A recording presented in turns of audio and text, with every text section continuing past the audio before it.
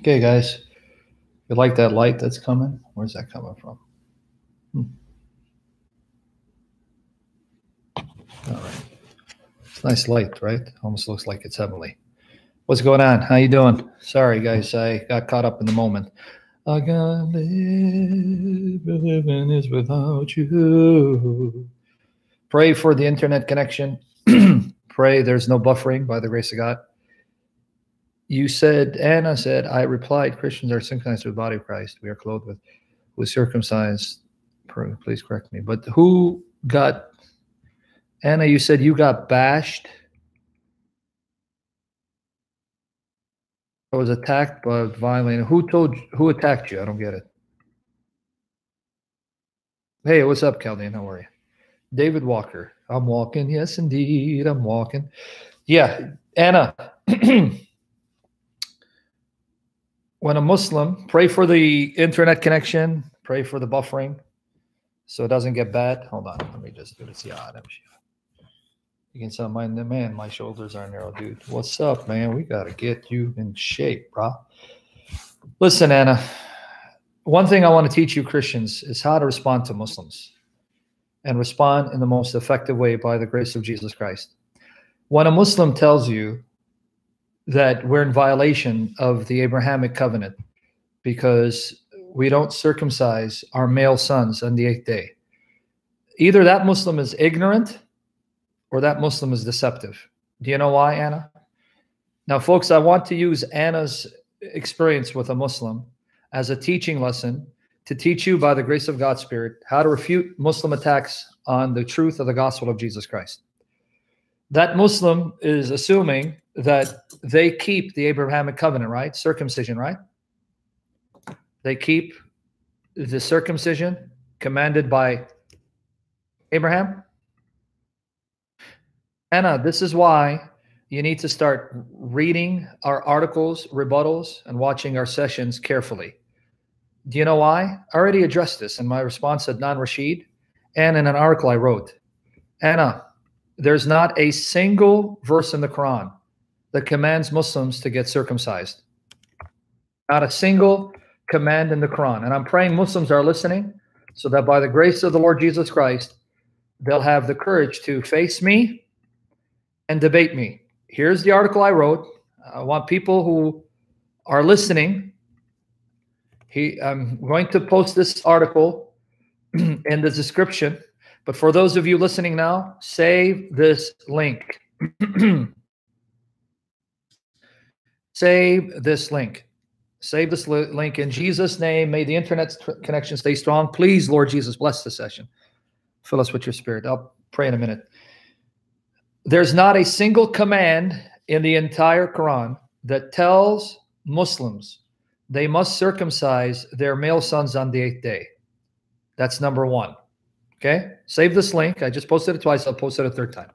Number two, the hadiths that they will quote, the narrations attributed to Muhammad that they will quote, right?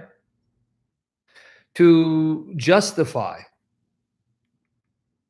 circumcising are the same hadiths that say that women should be circumcised as well. What we call female genital mutilation. So now they're stuck. If they go to the hadiths to try to prove, they go to the hadiths to try to prove, right? That Muslims are to get circumcised. Those same hadiths say it's males and females that need to be circumcised. You must circumcise the female, what we call female genital mutilation, an abomination, a horrendous, abominable procedure. I don't know what FGM means. So I don't know what FGM means. So they can't have their and eat it too. If they're going to go to the hadiths, if they're going to the hadiths, then they're stuck with the fact that those hadiths say females get circumcised, which is an inhumane procedure to do to young girls. So they can't have their cake and eat it too. You go to the hadiths, you destroy Islam, you bury Islam, you destroy Muhammad and expose him as the Antichrist that he is. Oh, that's what it was. I'm sorry. So they can't have their cake and eat it too. And this is all in my article. I just posted a link a fourth time. The title of the article is Open Challenge to Muslims. Show us where the Quran mentions circumcision. It doesn't. So nowhere does the Quran say you must keep this command that was part of the Abrahamic covenant because they are not truly sons of Abraham. Okay. You go to the hadiths. Number one, the hadiths do not say that you must circumcise males eight days old. Doesn't even state that. And those same hadiths say you circumcise males and females. So you end up proving too much and you prove that Muhammad is an antichrist, a son of Satan. Stephen Anderson, Universe. Why are you, brother? I love you. Why are you chiming in an argument that has nothing to do with the point she's making? They're attacking her on the grounds that we Christians are violating the Abrahamic covenant on the basis of Paul. Now, if you're going to play the role of a Mohammedan, then Stephen, I'm going to now treat you as a Mohammedan and tell you what I'll do to that argument. Sam, their argument is that Jesus was circumcised. So you want to play the role of Mohammedan? You want to pretend to be Zachariah? So I can show you what I would do to Zachariah? And I'll do it to you. You'll be his proxy. Right? I can do that. You interested, Steve? My man, my brother? My brother from a different mother, like no other? I can show that. So, okay. But my brother, I, I appreciate you, man. I really do. I'm glad. Even though I'm answering Anna, you wanted to chime in with your experience with Muslims. That's fine. I'll address it. Uh, you know, I love you, bro. I love you enough to bash you like I bash everyone because I bash everyone whom I love. Okay. Do you want me to answer? Because you're so excited. You brought it up because now I'm going to show you what I'll do to a Muslim who uses Jesus as an example. Okay. You ready for it or no? Okay. What do they hope to accomplish by saying that Jesus is circumcised? Are they saying that Christians have to get circumcised because Jesus did? Or they're saying that they're closer to Jesus, they follow Jesus more closely because they get circumcised? What are they saying? What are they saying? Because I want to know what angle are they approaching it from? You sure it's the thing that you said you heard them? Okay, if they say you are not like Jesus, right? Because Jesus got circumcised. Well, both the Bible and the Quran affirm not everything Jesus did applies to us. Because Jesus came to make lawful things that were unlawful for the Jews to to do. Please, Father, Lord Jesus, Holy Spirit, we beg you, bless the strength of the internet connection. Keep it strong for your glory and guide this conversation. Anoint me to speak for the glory of Jesus with the passion from the Holy Spirit, with fire from the Holy Spirit, purging us and purifying us, cleansing us in the blood of Jesus Christ. Jehovah, Father, Son, Spirit. Okay. The Quran, in agreeing with the Bible, states just because Jesus did something doesn't mean it's applicable to those who come after him, because Jesus also didn't get married. Which Muslim would say that's part of the sunnah of Christians not to get married? Right? But beyond that, chapter 3, verse 50 of the Quran, Stephen Universe says, Jesus confirmed the Torah between his hands, the Torah that he had access to, and made lawful things that were unlawful, things that were prohibited and forbidden for the Jews to do. Jesus gave them permission to do it. Chapter 3, verse 50 of the Quran. I don't know if Protestant is here, first last, if they're here. I don't know if you guys can hear me. It's like everyone's okay. Chapter 3, verse 50. Thank you guys. Thank the admins for helping me to help you for the glory of Jesus. And I have to pray. Ask the Spirit to fill us. And I come confirming that which was before me of the Torah, and make lawful some of that which was forbidden unto you. I come unto you with a sign from your Lord. So keep your duty to Allah and obey me. So did you catch it? The Quran is in agreement with the New Testament teaching in this regard. It is Jesus who tells us what is lawful and what is unlawful. It is Jesus who tells us what we can and cannot do because the Quran says that Jesus came to make things lawful that were previously prohibited. He made halal what was haram. That's the Arabic words. So the Quran doesn't say that Jesus simply commanded his followers to follow every part of the Torah The Quran says that Jesus came to command his followers to follow him, to obey him, to do what he commands, to do what he tells them to do. Are you with me there?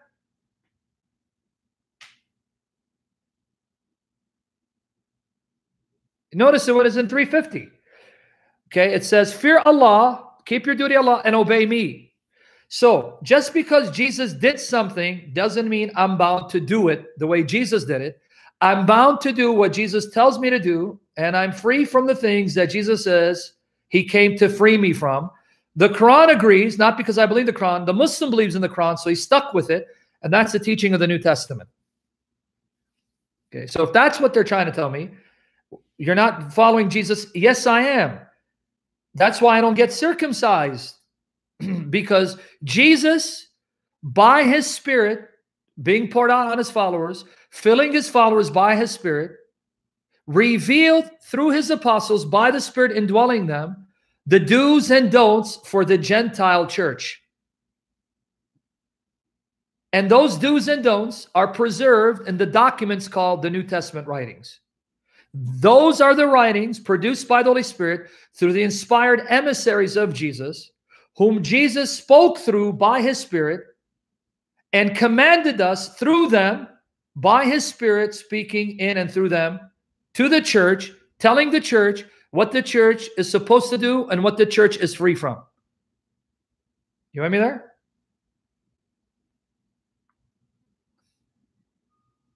And they can't object because I just gave you chapter 3, verse 50, Stephen. 350, don't forget it. Jesus came to make lawful those things that were unlawful. Halal, what was haram. And he says, keep your duty Allah, fear Allah, and obey me. He didn't say obey the Torah. Obey me. And what I tell you to obey from the Torah, you keep. What I free you from, you're free. Now, the Muslim needs to then sit back and shut up and not bring this objection up ever again because he's going against his Quran and I'm only quoting the Quran because he believes it, she believes it. I could care less what the Quran says.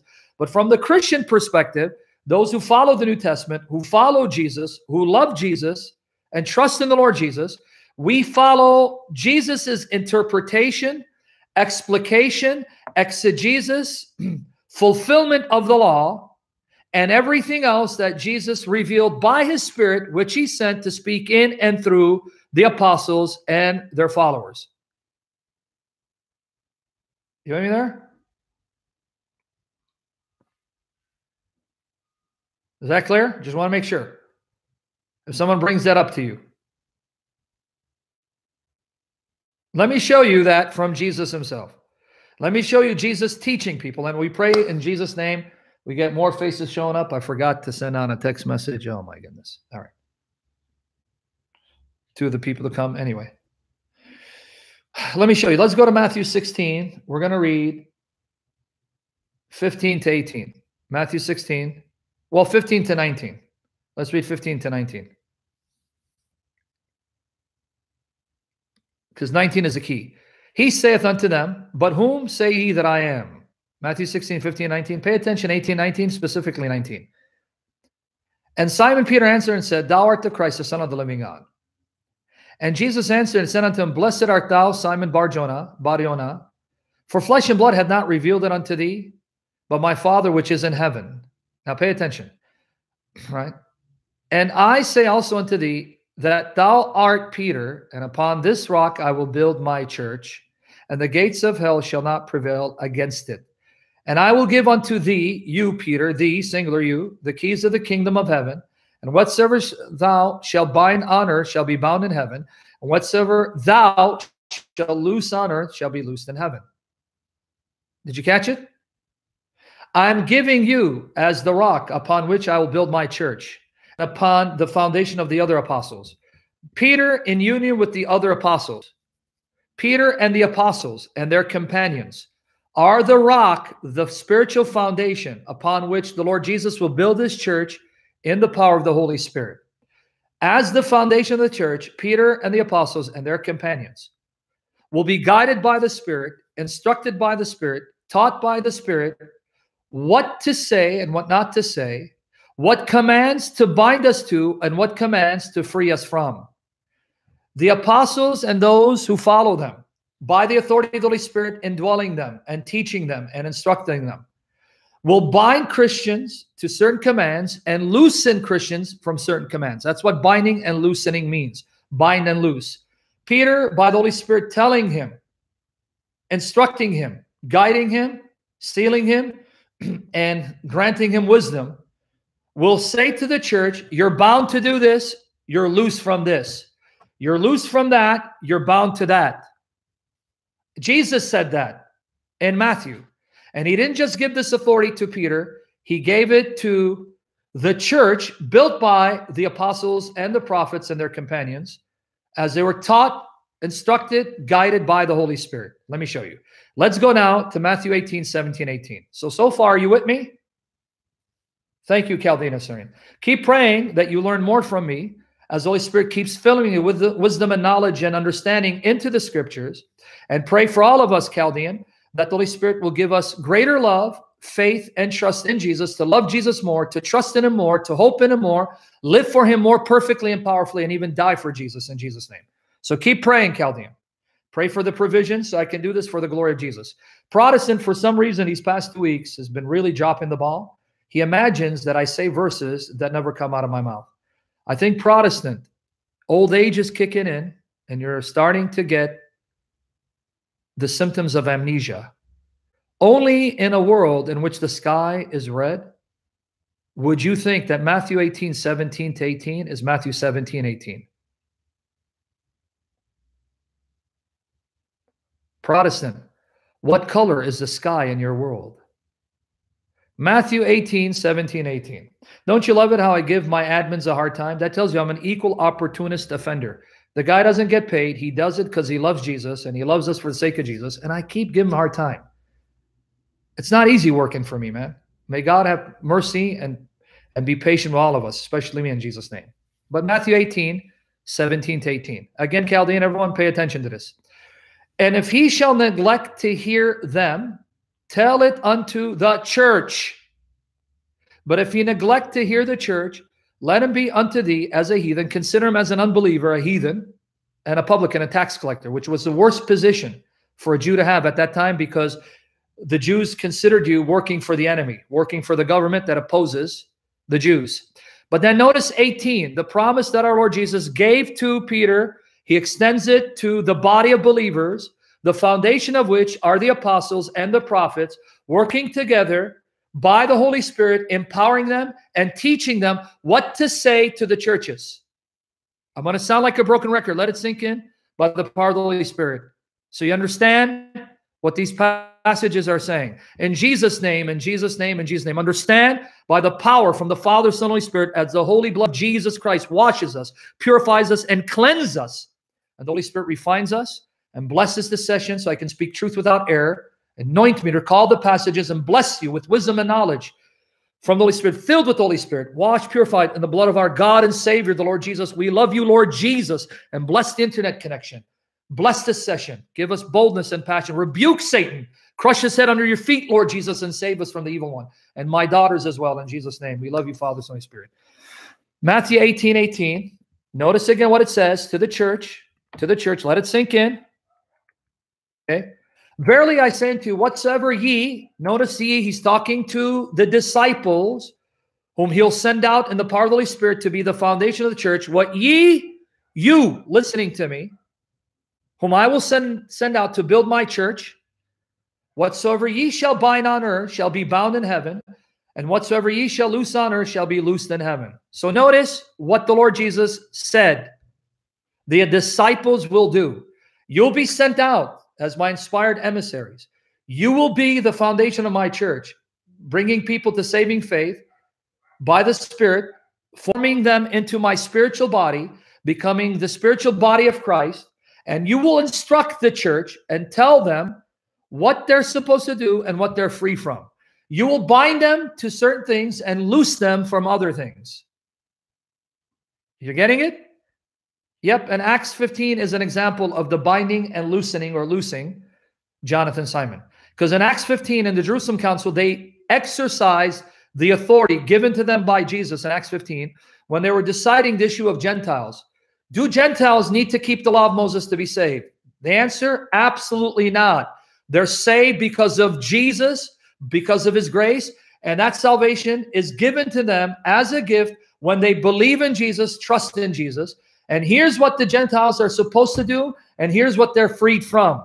So the Jerusalem Council freed Gentiles, loosed Gentiles from getting circumcised, having to keep the dietary prohibitions outlined in Leviticus 11, Deuteronomy 14, except the following com commands which they bound them to.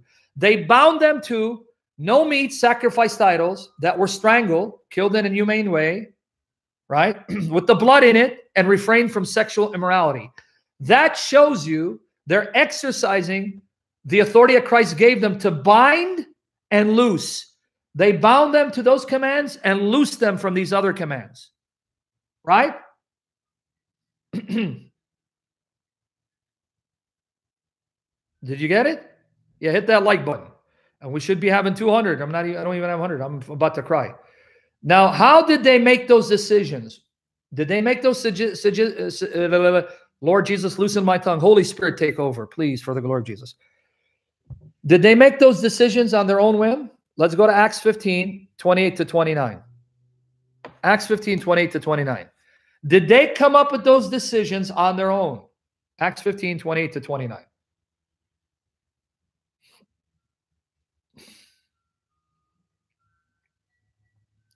Watch here.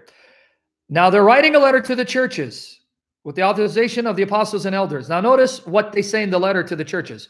For it seemed good to the Holy Ghost.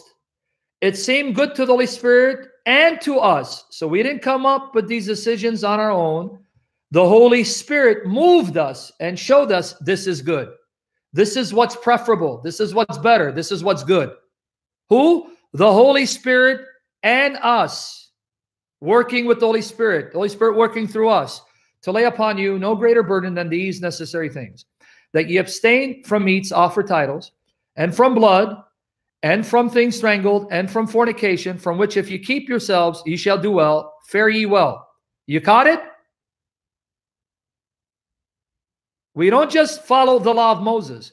We follow the Old Testament as interpreted by Jesus Christ, explained by Jesus Christ, completed by Jesus Christ, perfected, fulfilled in Jesus Christ, and the revelations that Jesus brought in addition to the Old Testament by the Holy Spirit, revealing those things in and through the apostles for the churches preserved in the Bible, specifically the New Testament.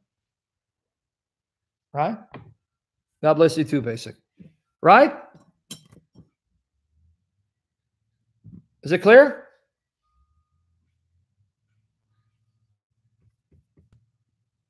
Let's go to John 16, 12 to 13. John 16, 12 to 13.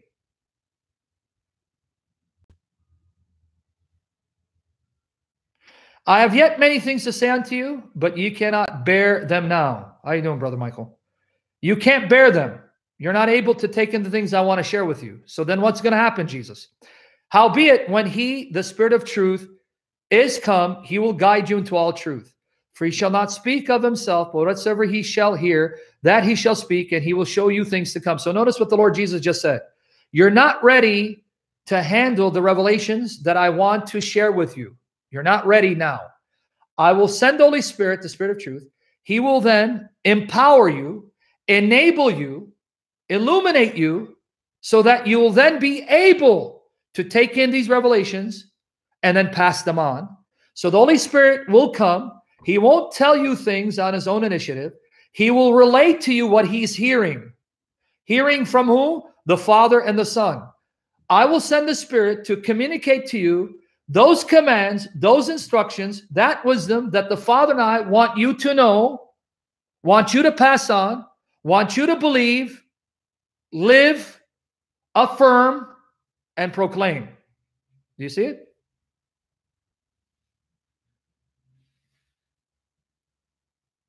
And the entire book of Acts is the record of how the Holy Spirit taught the apostles, right? Instructed the apostles, illuminated the apostles, empowered the apostles, and guided the apostles to evangelize, to convert, to teach, and to establish the church of Christ. You have a book of 28 chapters called the book of Acts. It's the book of the Acts of the Holy Spirit, which he wrought through the Holy Spirit, uh, through the holy apostles and prophets. The book of the Acts of the Holy Spirit, which he carried out in and through the holy apostles and prophets, in converting unbelievers, establishing the church, and teaching the church and guiding the church into all truth. Right? You getting it?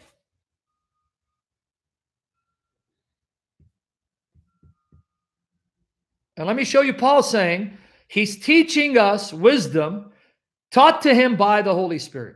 1 Corinthians 2:13. And he's instructing us on matters that Jesus didn't address while he was on earth. When Jesus was on earth, he didn't address these issues, but when he went to heaven, he sent the Spirit to then reveal to the apostles how to address questions and deal with situations that Jesus didn't address while he was on earth. 1 Corinthians 2:13. Which things also we speak, not the words which man's wisdom teacheth. We're not teaching you based on human wisdom. Our instruction doesn't come from human wisdom, human understanding, but which the Holy Ghost teacheth, which the Holy Spirit is teaching us. Wisdom from the Holy Spirit, comparing spiritual things with spiritual. You see how Paul records the fulfillment of the promise of the Lord Jesus. The Spirit will guide you into all truth when I go. And Paul says, long after Jesus has left the earth physically, the wisdom I'm sharing with you, Christians, you at Corinth, that's the wisdom the Holy Spirit has taught me to teach you. Right?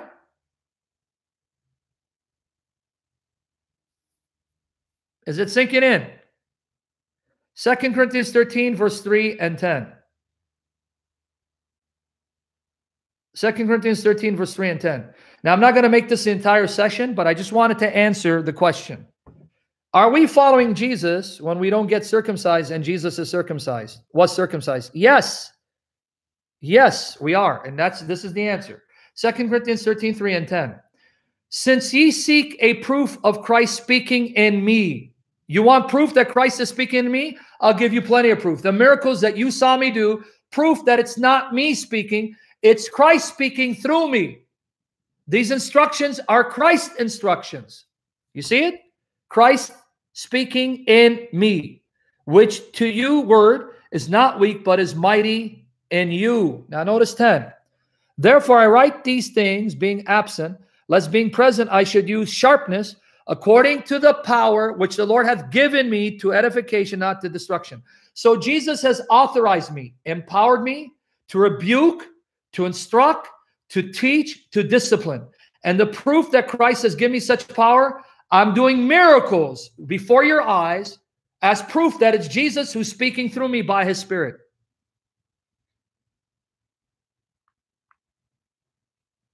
You caught it? Is it clear now? So you have 27 books of instruction called the New Testament, given by the Holy Spirit of the risen Jesus, whom the Holy Spirit revealed in and through the apostles and prophets, with the revelation from heaven upon which the church is built.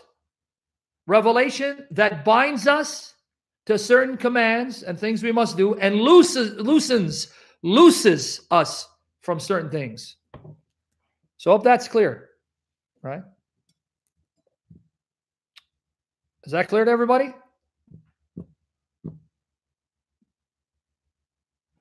So I hope that's clear as the Holy Spirit loosens my tongue and guides this discussion for the glory of Jesus that saves me from error and blesses you with wisdom, illumination from his glorious presence and fills us with love for Jesus, passionate love for Jesus and holiness and purity and wash us in the blood of Jesus. Holy Spirit, please take over the session and transform me and everyone listening to conform to the image of Jesus Christ and save us from our calamities and our loved ones, my daughters. Seal them by your glorious power and presence and wash them and wash us in the blood of the Lord Jesus. And please open doors of blessings that no man can shut in Jesus' name. I hope that was clear. Everyone understood. And I hope uh, my buddy, uh, Stephen Universe, I was going to call him Samurai for some reason. Stephen Universe, I hope that was clear. You got your answer when they bring that up? You refute them from the Quran and then you go back to the New Testament and show them. Now I can stay here and expound on this, but I think I've given you enough proof that it's not simply following what Jesus said on earth. It's following all that Jesus revealed while he was on earth and also from the throne in heaven when he sent the Spirit to indwell the apostles, to teach them and guide them, illuminate them with further revelations that the church has to now act upon, build on for the glory of Jesus. Right? I guess Protestant. You still hear my brother Protestant? Yes. Okay. What happened to our buddy first and the last? Is he now the last and waiting for someone else to be the first? All righty then. I'm going to continue responding to the meme. Are we circumcised through clothing his own body? What do you mean? I don't know what you mean. Clothing his own body. What do you mean clothing his own body? I don't know what you mean. Clothing his own body. Maybe you need to rephrase that. There's a meme I started responding to last night, and I'll just continue. And Lord willing, I'll continue my sessions on 1 Corinthians 15 28, God willing, on Jesus not being the Archangel Michael, on the deity of Christ and the synoptics. And I'll have to revisit some other issues. You know, we'll have to go also into the authority of Scripture, preservation of Scripture, God willing, salvation, and other topics and objections as they arise. If Jesus is pleased to use me by his Spirit for his glory, in Jesus' name, because the Lord doesn't need me. He really doesn't. I really need him, and I really do. Without him, I can't do it. I'm a human being who's imperfect and sinful, who struggles with his own imperfections and sins, and struggles with the imperfections and sins of others, and the trials of Satan and of corrupt, evil men and women. And I endure by the life that the Holy Spirit gives me, with the blood of Jesus Christ cleansing me and shielding me so that I never fail him. And may the blood of Jesus cleanse all of us and shield us and our loved ones, especially my two angels, whom I miss and love and adore. Lord Jesus, love them. Okay, I'm looking for the meme so we can continue. Okay, you guys ready? I'm going to find the meme.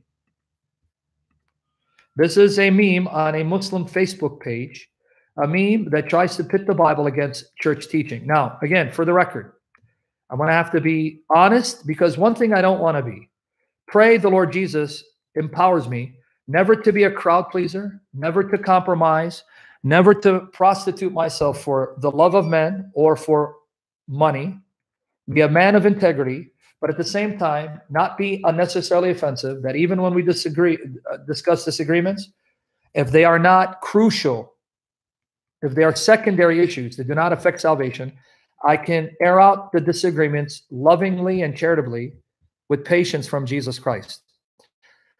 One thing I don't want to do, I don't want to tickle ears. In Jesus' name, Father, Son, Holy Spirit, bless the internet connection. In Jesus' name, please, my God, Father, Son, Spirit. One thing I do not want to do, I don't want to tickle ears. I don't want to be a crowd pleaser for love or fortune or fame, but I don't want to be unnecessarily offensive. Let's go to Galatians chapter 1, verse 10.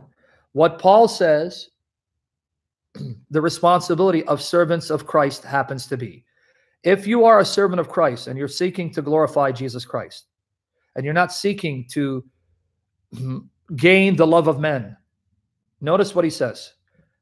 Galatians 1 2. For do I now persuade men or God? Am I here to please men? Persuade means do I am I here to please men? To make men happy? Or am I here to please God? Or do I seek to please men? For if ye if I yet please men, I should not be the servant of Christ. So notice what he's saying if you're going to go doing ministry to please men, you will not be able to please Jesus Christ and be a true servant of Christ because you're going to have to compromise to make men happy. Because there are things that Jesus stands for that the world hates. So that's why you have so many churches now watering down the gospel and saying it's okay to be homosexual as long as it's in a monogamous homosexual relationship devoted to Jesus. It's okay to be a lesbian. It's okay if you think that you're not really the gender that you were created in. So they're capitulating, they're capitulating to conform to the world and appease the world, and in so doing, shaming Jesus, shaming uh, the gospel, and perverting scripture. And that's what Paul is saying. If I'm here to please men and persuade men, I cannot be a true servant of Christ. Because being a servant of Christ means I'm his ambassador to speak his words with integrity and honesty, without compromise, without fear or shame. And yet, Jesus has things to say that the world cannot receive, cannot stand, but hates because the world is demonized under the influence of Satan. Right? So, etch this in your heart and your mind. You are servants of the living God, Father, Son, and Spirit. You are servants of the risen Lord of glory, Jesus Christ. You need to make sure he's happy. You make him happy first and foremost. And let the Holy Spirit worry about the reaction of those hearing the truth. Because notice what Paul says in Galatians 4 16. Galatians 4 16.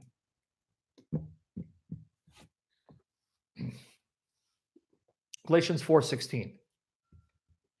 Am I therefore become your enemy because I tell you the truth? See what he's saying? He's talking to Christians that he led to faith who are now questioning whether Paul told them the truth.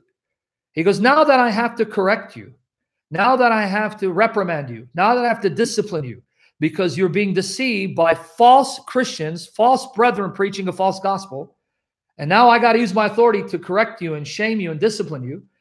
Now, do you hate me because I'm speaking the truth? When I came to you with the truth and you saw that it was the truth, you loved me. But now someone has deceived you, misled you into thinking maybe I wasn't speaking the truth. And so now do you hate me for having to chasten, rebuke you, and remind you that the truth I preach, that's the truth of God, not what you're falling for now? See what he's saying? You see his point? So, what's the point? I'm not here to be unnecessarily offensive and to hurt your feelings. That's not what I want to do. But I can't be a crowd pleaser. So I'm not going to make everyone happy. As long as I can express our differences in a spirit of love on those issues where we can agree to disagree, please bear with me if you disagree with me. But if it's an issue related to the very heart of the Christian faith, core doctrines, there, I cannot agree to disagree with you. I have to come out and say, this is wrong. And if you don't repent, you can go to hell for it. And if I'm wrong about it, may the Spirit convict me to realize my error and repent and save us from error and guide us in all truth and give us the power to live the truth and love the truth for the glory of Jesus. Okay. I brought this up because this meme is making a distinction between what the Bible teaches and the church the impression of the meme is the impression of the meme is that the Trinity is a doctrine of the church contradicted by the words of Jesus in the Bible. So let me get you the meme because I began part one of my response last night. It's archived, so you can go listen to it. Now, with that said, it is true. It is true. There are traditions in various churches, and it's not just Orthodox or Coptic or Catholic or Nestorian, even Protestant denominations. We all have traditions. Tradition is not bad. There are good traditions, inspired traditions. And there are traditions that are not contradicted by the Bible. But there are traditions that do contradict the Bible and early history. Some of those tra traditions, though they contradict the Bible, they don't contradict it in such a way where it's damnable. But there are some traditions that do contradict the Bible in those areas that can damn you to hell if you don't repent of them. It's simply a fact. And those of you here are proof. Some of you are Orthodox, but you're not Roman Catholic because you believe that Orthodox has maintained greater purity and fidelity to the pure apostolic teaching than the Roman Catholics. But then there are Roman Catholics who believe that about the Catholic Church and think that though the Orthodox Church is apostolic in origin, it is not as pure or hasn't maintained the purity of the apostolic faith or understood the apostolic deposit as clearly as the Roman Catholic Church. And then that's the same with the Coptics and the Nestorians. In other words, the very fact that some of you belong to one domination and not another, you are proof that you're agreeing with what I'm saying that you see not all traditions are right and not all churches have the correct traditions. This is why, if I criticize the Roman Catholic tradition that the Orthodox don't accept, amen, brother, praise the Lord, we're with you. But then when I criticize a doctrine held uniquely by the Orthodox, they get upset. They're no longer hallelujahing or amening me, but the Catholic preach. You get my point? Because you will not be able to satisfy and please every human being, nor should you. You want to please, delight, make happy the heart of God, Father, Son, Holy Spirit. Make him happy first and foremost. Right? One second. One second, guys. Let me see something.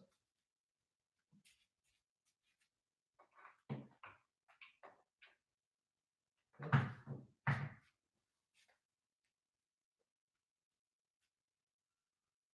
on. Come on. Getting there. Getting there. Getting there. Come on. Don't hate. Getting there. Okay. Sorry. See who's calling me. Okay. So there is some truth in the meme. Okay. Some truth in the meme. I haven't even been able to go to the gym regularly. I'm trying to get settled in my new home. God willing, when I'm settled, I will then take it to the next level, more intense physical training, if God is pleased, to achieve my goals for his glory in Jesus' name. But anyway, there is some truth in the meme. There are traditions in the church that are not taught in scripture, that are contradicted in scripture. And some of these teachings contradict the scriptures in such a way they're not damnable, but in certain areas they are. Okay. And I'll try to give you an example what I mean by a teaching that contradicts the scripture, but it's not a tradition that contradicts in such a way that will damn you. Right? And again, I'm trusting the Spirit to guide me, to speak clearly, to bless you and save me from error. And may He purify our motives and the holy blood of Jesus to never be crowd pleasers. Never. Never be crowd pleasers. Here is the link. Okay. Hold on. Let's get it. Let me just get the link. Here it is. Here's our boy, a Muslim trying to use the words of Jesus to prove Islam. Okay, with that said, are we ready to rock and roll? This is now the second part, part two. Thank you, Sai Christian. You're such a hater, bro. This is part two. I began part one last night. Okay, now we were discussing John 20, 17. If you did not hear the first session, you need to go back and listen to it so that what I'm about to say will make better sense. So if you're not following me, that's okay. When you hear the first session, everything will make sense by the grace of God's Spirit. Now, if you look at the meme, I discussed John 20, verse 17. So let's finish the discussion. Every single passage mentioned in this meme, I've already addressed in previous sessions on YouTube, in previous shows, elsewhere. There's even a video clip that David Wood recorded in ABN Studios I think it's about 13 minutes where I go in depth on John 14, 28. The Father is greater than I. I've written lengthy articles and responses to all of these passages on the website I write for, answeringislam.net, answeringislam.net, and on my blog, answeringislamblog.wordpress.com, answeringislamblog.wordpress.com. Holy Spirit, guide my my tongue in Jesus' name. Answering Islam blog.wordpress.com. Man, say that five times fast. But again, we're creatures of repetition. We need to hear something over and over again until it becomes second nature by the grace of God's Spirit. So let's deal with this. John 20, 17. The point of this passage is to show Jesus can't be the only Son of God. Why can't he be? Because the same Bible, John 20, verse 17, plainly states that Jesus' Father is the Father of all disciples all of his disciples who believe in him and the Lord Jesus, they too have God as their father. They too are the children of God. So, how can you say Jesus is the only son? I began discussing this last night, and I showed how this passage proves Muhammad is an antichrist, a false prophet. Because Muhammad said his God Allah is not the father of Jesus, and he's not the father of Christians. So, since the Muslim quoted this verse, it ends up proving too much. It proves that Muhammad is a false prophet because he contradicts this verse. Thank you, Muslim, for proving to us Muhammad is an antichrist according to the very verse that you cited from John's gospel, which you say happens to be the words of the Lord Jesus. Bye bye, Muhammad. But for the rest of you, let's explain what it means for Jesus to be the only Son of God when God has many sons. He has many sons and daughters. And in previous sessions, I went in depth on the term Son of God in my series on angels. Right? There's a series I did on serpent seed theory and the sons of God in Genesis chapter 6, verses 2 to 4. I went in depth on the various nuanced shades of meaning found in the Bible in regards to the term Son of God or in respect to God being the Father, right? Go back, review those sessions, look up the passages until you absorb the information, become second nature, and you can teach others by the grace of God's Spirit. Okay, let's explain what it means here. As we saw last night in John 1 12 to 13, believers in Jesus Christ are given the grace of becoming children of God because of the Lord Jesus. In other words, it's what Jesus did for us in his perfect, righteous, obedient life, his perfect life of obedience, and his death on the cross for our sins that gives us the right, that has merited for us the right to share in the sonship of Christ. So we become children of God because of grace, by grace. Whereas Jesus is God's son by nature. By his very nature and essence, he is the essential, the true spiritual offspring of God.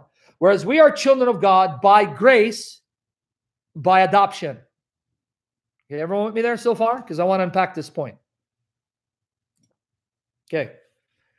And I noted yesterday that when John calls believers sons of God, he uses a different term when he speaks of Jesus as the Son of God. When John wants to describe believers in Christ as sons of God, he calls them tekna Tekna, I believe plural of tekna. Tekna theou. Tekna theou. That's John 1.12. Let's look at it. John 1.12, I'm going to give you the Greek.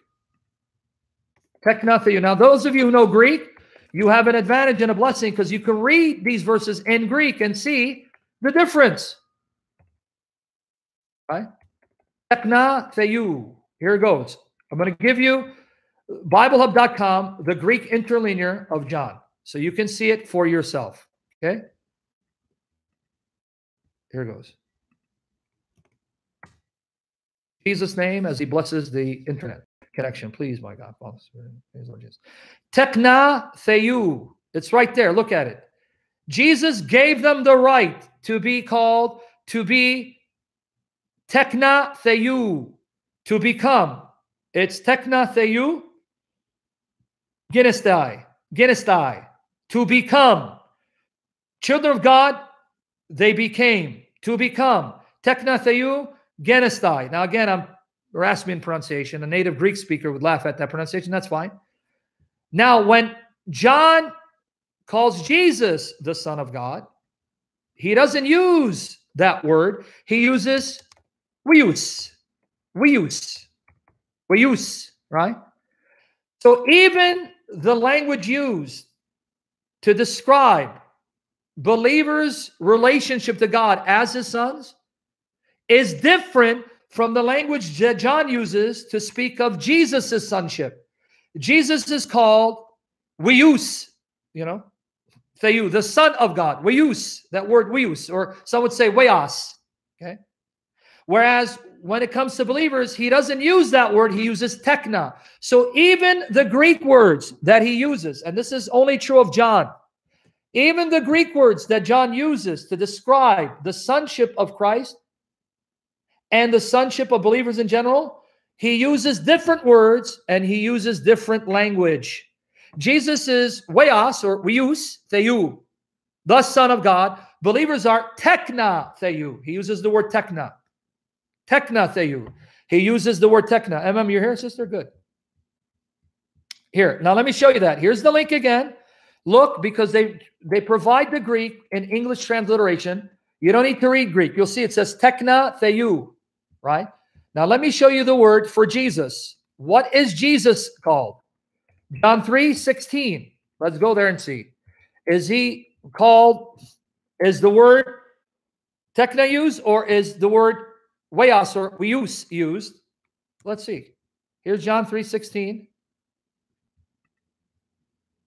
John 3 16. Here you go. I thought that's MM. I guess not. There's the Greek link. For God so loved the world that he gave his only begotten son. The word only begotten son appears in verse 18 as well. Click on that link Greek. What's the word for son? Here it is. Hoste, that. Tan, wiyun, or weon. There's that word, accusative. Tan, weon, or wiyun. Ton, monogene. Ton, weon, ton, monogene. Ton, wiyun, ton, monogene. Trying to pronounce like a Greek word. You see, it's the word weos. We use Weos, we use. Everyone see it?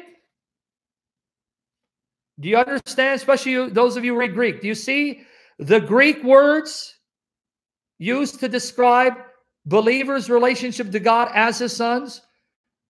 And the words used to describe Jesus' relationship to God as a son, they're different.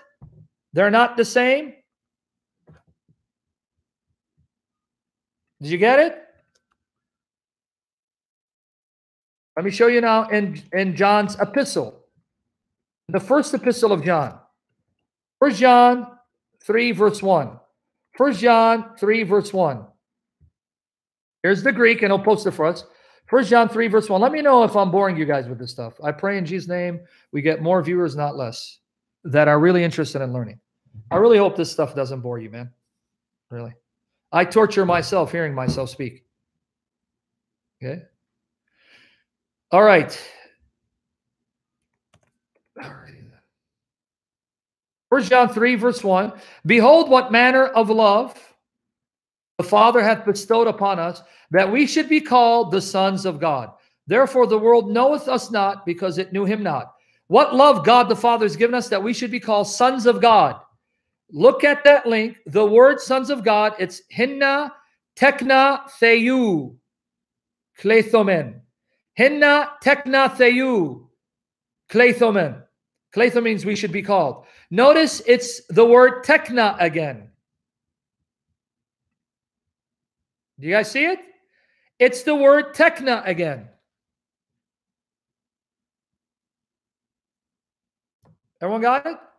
Before I move on? What about First John 3.10? First John 3.10. For John 3.10, here's the Greek of 1 John 3.10. In this, the children of God are manifest. How do we know the children of God from the children of the devil? And the children of the devil. Whosoever doeth not righteousness is not of God, neither he that loveth not his brother. Okay, what's the Greek words for children of God? What's the Greek word for children? There's the link for John 3 1. Ta tekna to theou. It's ta tekna, the children, to theou, of the God. And the words in Greek for the children of the devil, ta tekna to diabolou. Ta tekna to diabolou.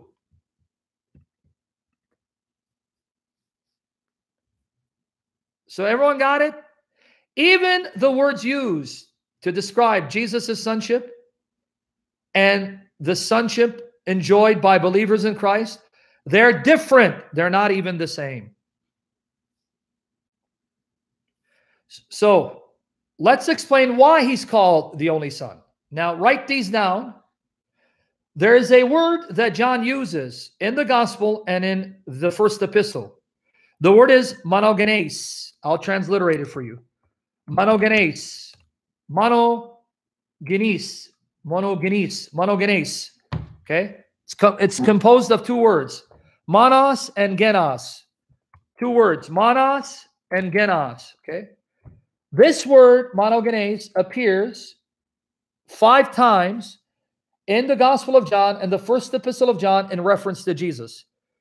Jesus is called monogenes five times in the Gospel of John and the first epistle of John.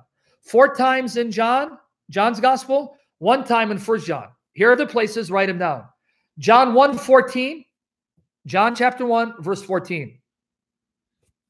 John chapter 1, verse 18. John 1 14, John 1 18. John chapter 3, verse 16. John chapter 3, verse 18. Four times in the Gospel of John. John 1 14, John 1 18, John 3 16, John 3 18. And he uses it one other time in First John chapter 4, verse 9. Let's look at First John chapter 4, verse 9.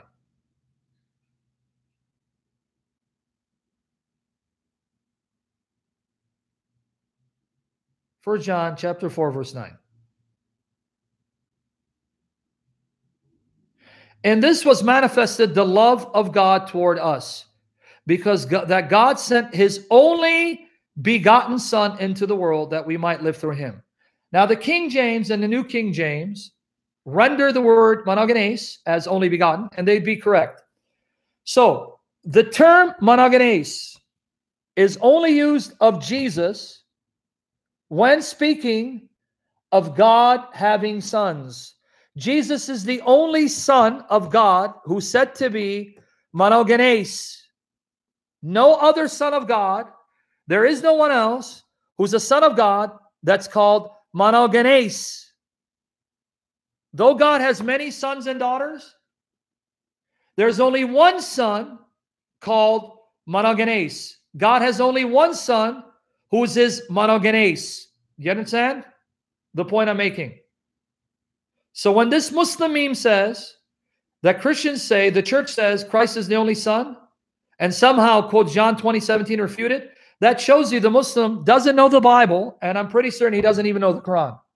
Because this term, monogenes, the word monos there does mean only. The word monos, monos, that's the word one and only. He is called the one and only Son. The word monogenes is used five times in John's inspired writings. The Gospel of John appears four times, and the first epistle one time, and only used of Jesus because there is no other child of God who's God's monogenes. Jesus and only Jesus is the monogenes Son of God. But that's not why he's called monogenes, Remy. You're trying hard again. Jesus is not called monogenes because he was born of a virgin. Don't make that mistake, please. Okay? If you're late, that's great. Just don't chime in. Make a point that's going to backfire against you. Okay? Now, did you understand? I want to make sure everyone got it before I move to the next point. Do you understand Jesus and Jesus alone is called God's mono, monogenes? No other son of God is called God's monogenes. Monogenes, son, is used only in reference to Jesus. In fact, in John 1:14, it simply uses monogenes. It's monogeneos. It doesn't even supply the word son. It simply says he is the monogeneos. Monogeneos. Right? Now, monogenes is used for Isaac to describe his uh, relationship to Abraham. Did you know that Isaac is called Abraham's monogenes. So that term monogenes is used in another context in reference to another son, not of God, but the son of Abraham. Hebrews 11, 17. Hebrews 11, 17. I'm sorry. Yeah, Hebrews 11, 17. What's wrong with me? Why am I sorry? No, I'm not. I should tell you, my computer shuts down sometimes. Hebrews 11, 17. Here you go. He's going to quote it. Here's the Greek. Here's the Greek. By faith, Abraham, when he was tried, offered up Isaac, and he that received the promised offer offered up his only begotten son. By faith, as Holy Spirit loosens my tongue to glorify Christ. By faith, Abraham, when he was tried, offered up Isaac, and he that had received the promises offered up his only begotten son. Click on the Greek or the link to the Greek interlinear. There it is. I just gave it to you. The Greek says he offered up who? Ton monogene. Monogene. Ton monogene. Ton monogene. Did you know that the author of Hebrews doesn't even supply the Greek word for son, weus or weos? He simply says he offered up ton monogene. He offered up the monogenes his monogenes.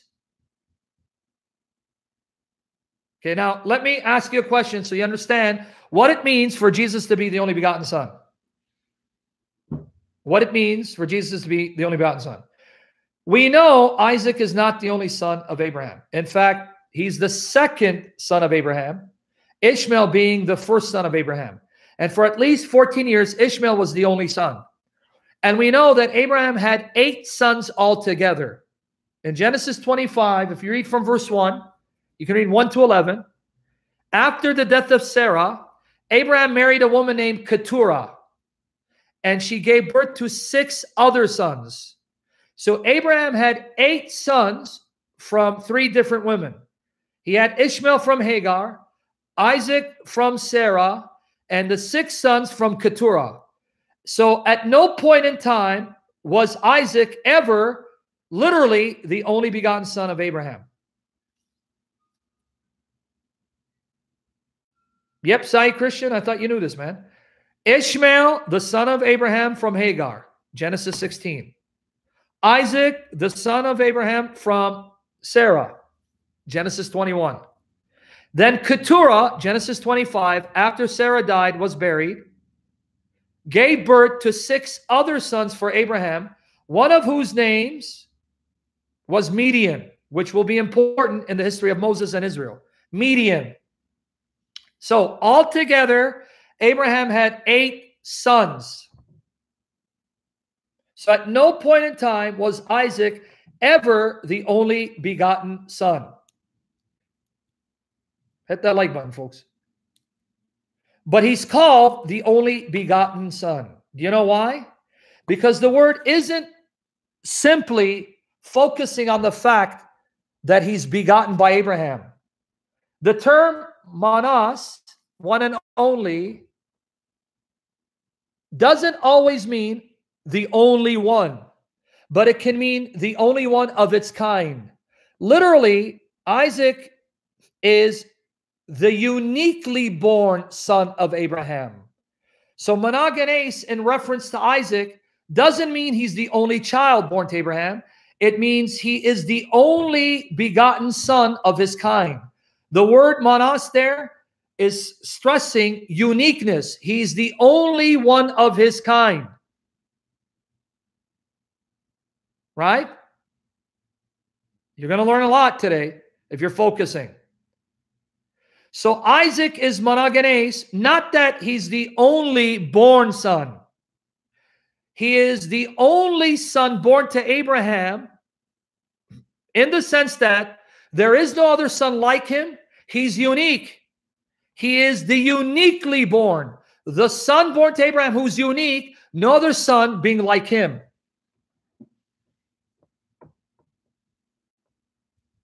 Now, the question is what makes him the one and only son of his kind, the one and only begotten son of his kind, that he's a begotten son that's unique and no other sons like him, even though he had seven brothers? Deborah answered it. No, Alex. Ishmael is a son by nature. The six sons of Keturah are Abraham's sons by nature. That's not the answer. Deborah gave you the answer. What makes Isaac the one and only begotten son, the only son of his kind? Because Isaac is the only son that God promised to Abraham to be the heir of the covenant. He didn't give that promise to Ishmael nor the six other sons. Isaac and Isaac alone was set apart by God's sovereign freedom to be the heir of the promises of the covenant giving to Abraham. So there was no other son like him because no other son was the heir of the covenant promises to Abraham. PJ, you're still not listening. Abraham had six other sons when he was even older and later than Isaac. Why do you come up with answers that you think are addressing the question when you're only destroying your argument and digging yourself in a hole, PJ? So was Abraham young when he had six other sons from Keturah after Sarah died and Isaac had already married?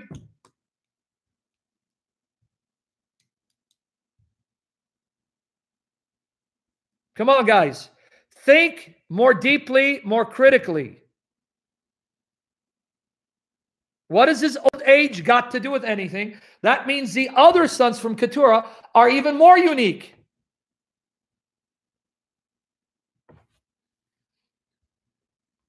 You with me there? So why is he monogenes? Why is Isaac monogenes? He's the only begotten son of his kind. There are other sons, but there is no son like Isaac. So, what makes him unique? Uniquely born, uniquely begotten. He is the only son that God chose to be the heir of the covenant promises given to Abraham. Ishmael wasn't included, the six other sons weren't included, Isaac and Isaac alone. Genesis 17, verses 15 to 21. Genesis 17, verses 15 to 21. Is that clear?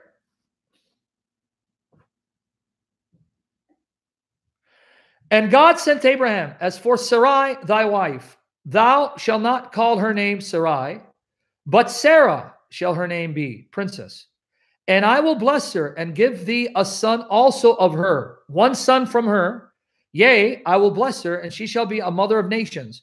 Kings of people shall be of her. From her one son Many nations will spring forth, and many kings from that one son of Sarah, because Sarah had only one son. Okay, now read carefully. Verse 17 Then Abraham fell upon his face and laughed and said in his heart, Shall a child be born unto him that is a hundred years old? By the time Isaac is born, I'm going to be a hundred. And shall Sarah, that is 90 years old, bear? By the time she gives birth, she'll be 90. Oh, come on. Come on, God. And Abraham said unto God, Oh, that Ishmael might live before thee. Well, my son Ishmael is already 13 years old, God.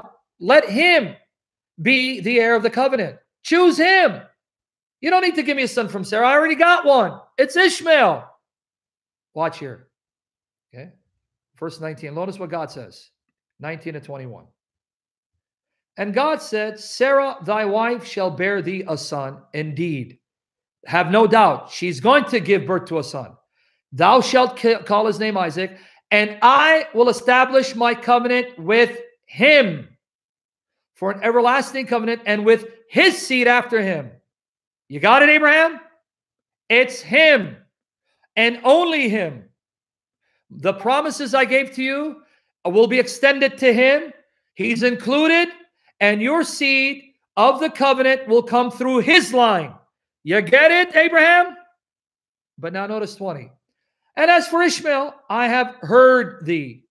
Behold, I have blessed him, and will make him fruitful, and will multiply him exceedingly. Twelve princes shall he beget, right? and I will make him a great nation. But my covenant will I establish with Isaac, which Sarah shall bear unto thee at this set time in the next year. Could it be any clearer why Isaac is the only begotten son? My promise to you includes Isaac. My covenant with you,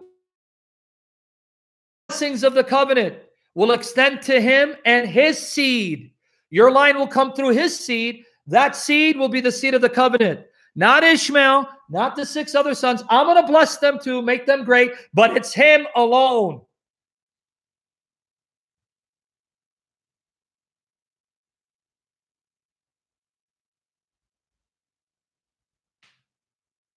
You with me there? Daily Greg, here's one of why you need to focus on the topic and not bring in issues that you may think is relevant because this is going to backfire against you. That assumes that the author of Hebrews is aware that the term monogenes is used of Jesus.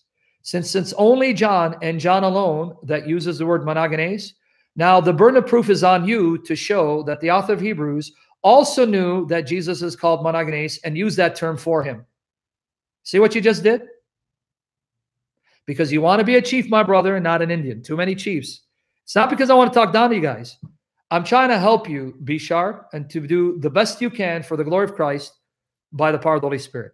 So now, Daily Great, pr- prove to me that the author of Hebrews knew that Jesus is called monogenes and used that term to describe Jesus. Prove it. Give me proof that he knew that was a term used for Jesus. Come on, Daily Gripe. I'm waiting. Don't waste time.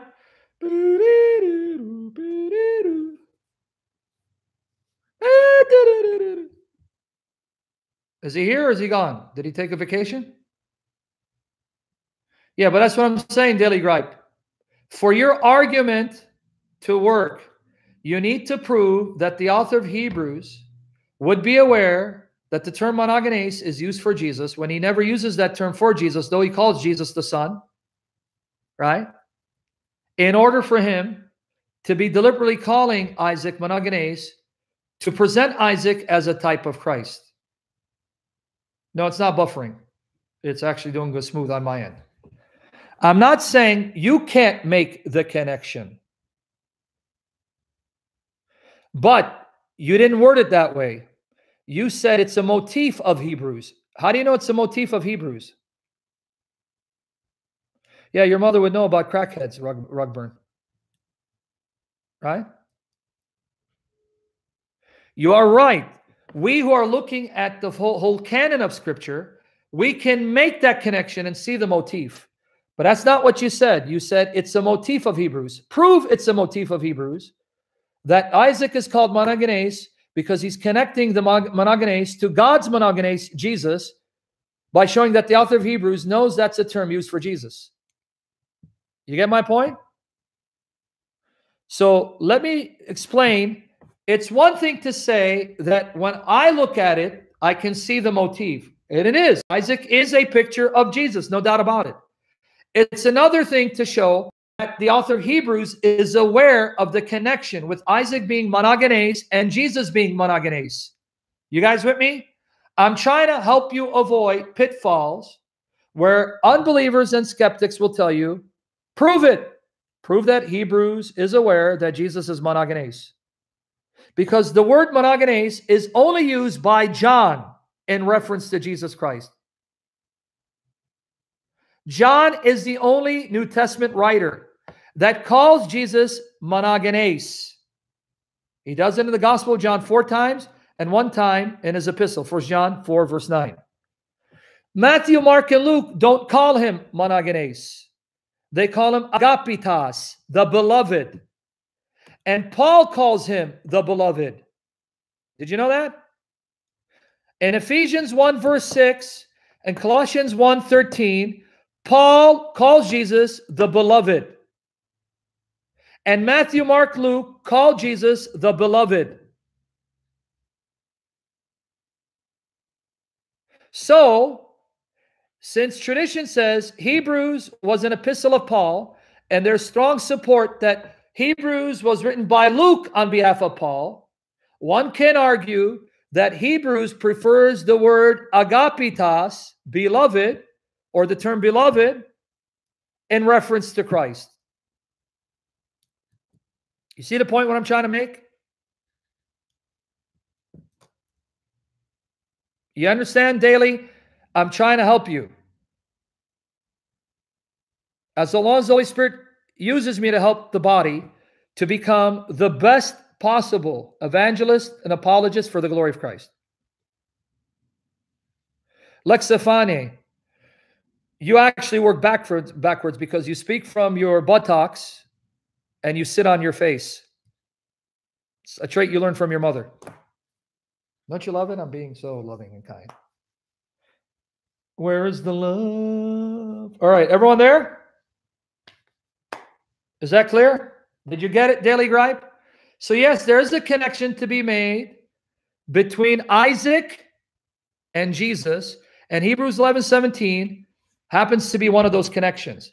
But that's not the same as saying that Hebrews is doing it deliberately because it's a motif in Hebrews to show Isaac is monogenes as a shadow of Jesus being the monogenes. Clear? Just want to make sure it's clear. Right? But stay focused on the point of monogenes.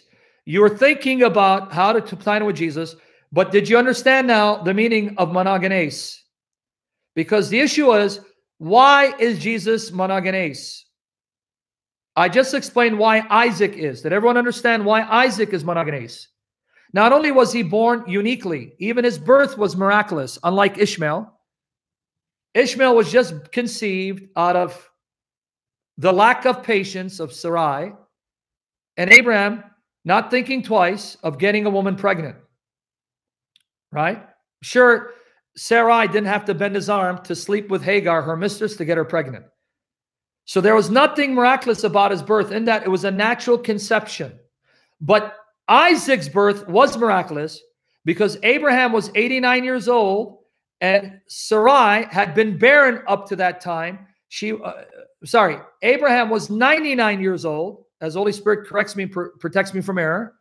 And Sarai was barren up to that time, and she was 89 when she conceived Isaac, even though previously she couldn't get pregnant. So that means God did a miracle to invigorate Abraham and cause Sarah or Sarai's womb, she was called Sarai at the time, to be able to conceive Isaac as a miracle. So Isaac was born miraculously. Similarly to John the Baptist, John the Baptist's birth is similar to Isaac because John the Baptist was conceived to a barren woman, Elizabeth, who could not get pregnant, and his father was old, past the years of childbearing. In other words, he had lost his vigor. So the birth of Isaac is similar to the birth of John the Baptist.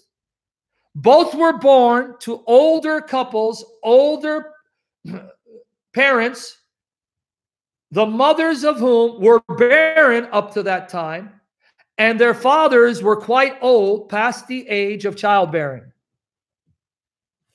Right?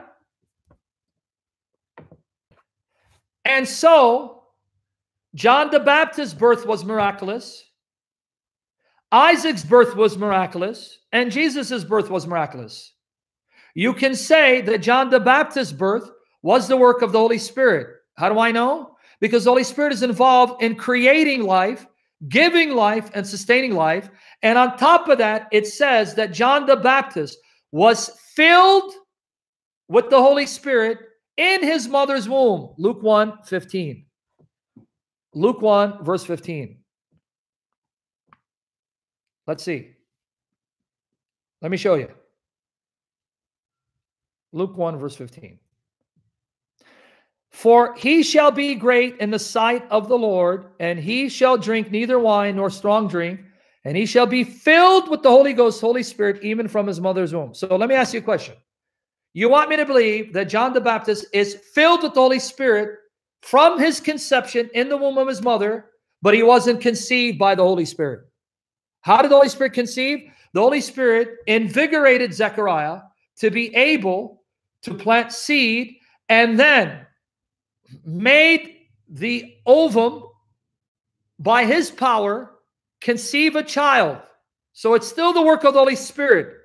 Though two are involved, right? And there's intercourse involved, still it had to be the Holy Spirit to then invigorate one and cause the other to take in the seed and conceive. So it's still a miraculous work of the Holy Spirit nonetheless, right? Is that clear? The same would be of Isaac. In fact, John the Baptist was filled with the Holy Spirit from conception in the womb of his mother. And John in Galatians 4:29 says Isaac wasn't of the flesh, he was of the spirit. Did you know that? Paul says Ishmael was of the flesh, Isaac was of the spirit. Galatians 4, verse 29. Could the Bible be any clearer or clearer that, like Jesus, Isaac's birth was the result of the spirit? Like Jesus, John the Baptist's birth was the result of the spirit. And Isaac is like Jesus in that, like Jesus, he is the only one said to be the monogenes of his father. Galatians 4:29. But as then he that was born after the flesh, Ishmael, the story is about Ishmael and Isaac, persecuted him that was born after the spirit, even so it is now. Galatians 4:29 is talking about Ishmael making fun of Isaac.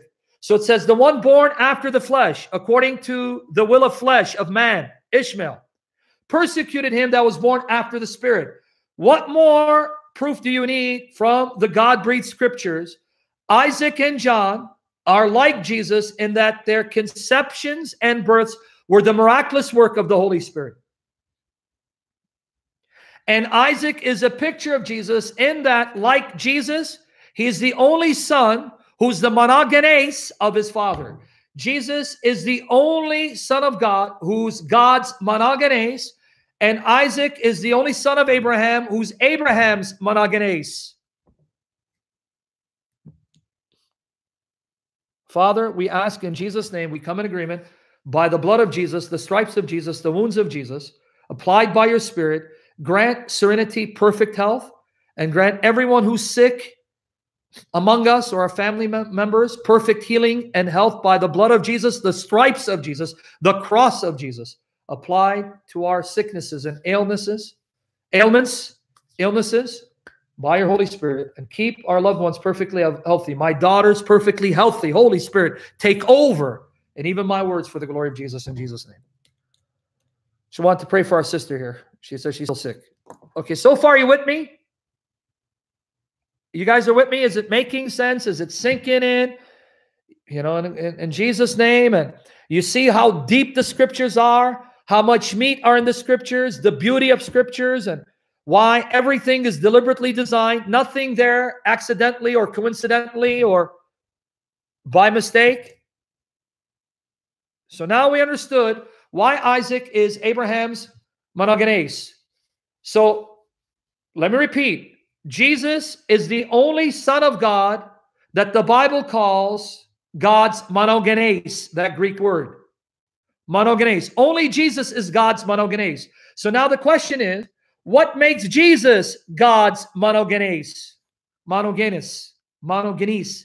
Monogenes. I'm trying to say how a Greek person would say it. Monos genos. What makes Jesus God's monogenes? Because Jesus is the only son of his kind. The other sons of God are not like Jesus. Jesus is unique in his sonship. And what makes him unique? Lots of things. Jesus is the only Son of God who is eternal and as old as God. All the other sons came later into being.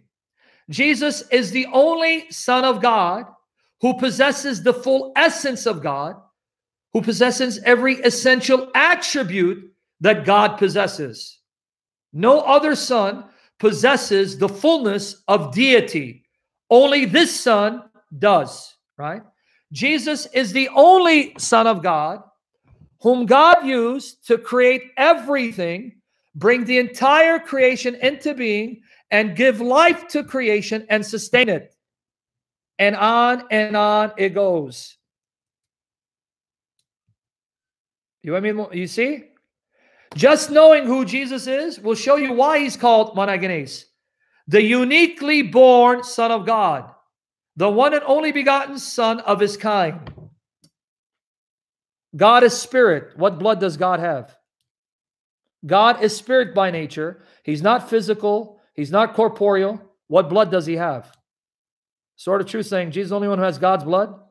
So God the Father has blood? Yes, of course, Jonathan Simon. The term monogenes in reference to Jesus is not about his virginal conception and birth. That's a wrong application. It's referring to his unique sonship. It is a term denoting the unique relationship he enjoys with God as his son, not the cause or it's not the result of his conception and birth from a virgin. Because if the virginal conception and birth of Jesus is the reason why he's monogenes, how much more Adam, when Adam was produced directly from the dust by God's hands forming him and breathing into him directly into his nostrils the breath of life without parents. You're setting up for a Muslim objection. Alex Gaskin, you're asking me a question that needs to be nuanced. To take the word monogenes from John and apply it to Matthew isn't wrong if you're trying to look for what makes Jesus unique and you look for Matthew to show his uniqueness. Right? Because it's the New Testament witness that will tell us all the ways in Jesus, in all the ways that Jesus is unique and different from every other son. Right? You with me there?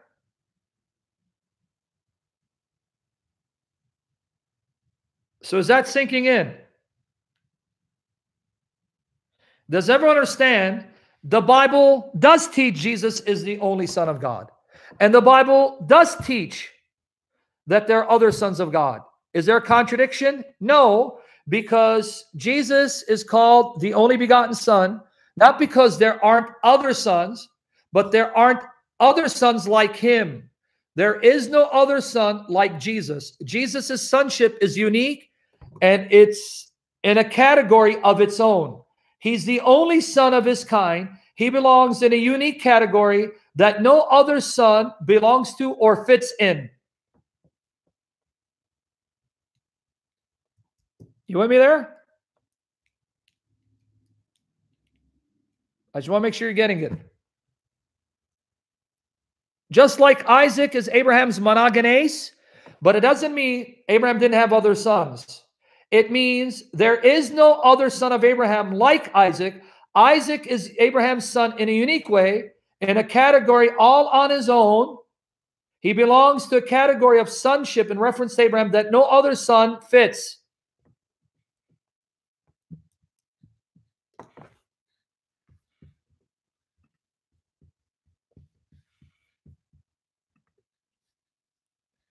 I'm giving you a moment to sink in. Now, Protestant believer, the guys in Discord, are they all getting it? Protestant? Folks in Discord, MM, everyone else, they're getting it. Do they have any questions there? What's ding, ding, ding, ding? I don't know what that means. Ding, ding, ding. So, did we thoroughly refute that Muslim memes suggestion, insinuation that the church says Jesus is the only Son of God, thereby contradicting what our Lord Jesus says in John 20, 17, that even his followers are sons of God? Did we thoroughly refute that pathetic objection? Here's the link to the meme. I'll put in the description box because now I'm going to end it with the similarities between Isaac and Jesus to help Daily Gripe reinforce what he said. Isaac is a picture of Christ. We'll end it with that. If everyone understood what it means for our Lord Jesus to be monogenes, the only begotten Son, in contrast to the other sons and daughters of God, right? And that there is no problem in affirming both. Yeah, Michael, he wants, I'm sorry, Protestant, Michael wants the link to Discord. He wants a Discord invite. Now, everyone got it. Is anyone confused? If you're confused, let me know. So I'm still confused, Sam. Can you help me understand? I don't know what you mean same. What's same, Alex? Nobody confused? Did we thoroughly address John 20, verse 17? And its misapplication by the Mohammedan meme? No, Williamson. Williamson, were you here from the beginning of the discussion? How can you be monogenes when monogenes refers to someone who's unique? If we're all monogenes, then where's the uniqueness? So, Williamson, why don't you listen from the beginning and not come at the end of a discussion? Because if you were here from the beginning, you would see monogenes refers to someone who's unique in a category of his own. If we're all monogenes, where's the uniqueness? If all of Abraham's sons were monogenes, where is the uniqueness of Isaac in being singled out as monogenes? You with me there?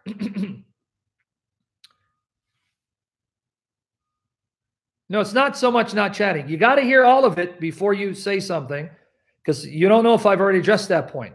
Let me repeat again. Let me repeat again. The term monogenes, as far as our Lord Jesus is concerned, is used for no one else but Jesus. The New Testament, particularly John, clear as day, God has only one monogenes, not many monogeneses or monogenes, or however you say the plural right? Only one monogenes, it's Jesus Christ. Jesus alone is God's monogenes. Okay? Just like Isaac alone is Abraham's monogenes. And that doesn't mean no other children. There is no other child of Abraham who's like Isaac which is why Isaac alone is Abraham's monogenes. There is no other son, child, daughter, and any other spiritual offspring of God who's like Jesus, which is why Jesus alone is God's monogenes. Mono, Monogenes. Right?